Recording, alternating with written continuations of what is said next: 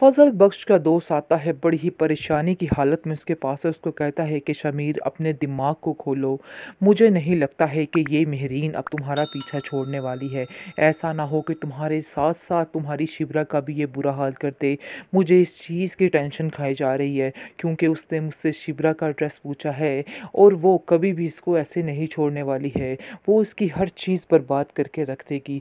क्यों तुम अपने पीछे उसका भी नुकसान करवाना चाहते हो? अभी भी उसके जंगल से निकल आओ और महरीन की तरफ़ आ जाओ। तुम्हारा फ्यूचर यहाँ पर ही है, जिसको सुनकर शमीर कहता है कि शायद तुम्हारा दिमाग ख़राब हो चुका है। तुम जो सोच रहे हो ऐसा कुछ भी नहीं।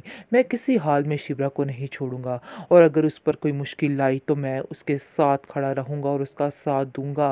तुम क्या समझ रहे हो कि उस पर मुश्किल आएगी तो मैं वहाँ से चला जाऊँगा। मैं ऐसा कभी नहीं करूँगा। शिवरा और उसकी फैमिली की ज़िम्मेदारी मेरी ज़िम्मेदारी है।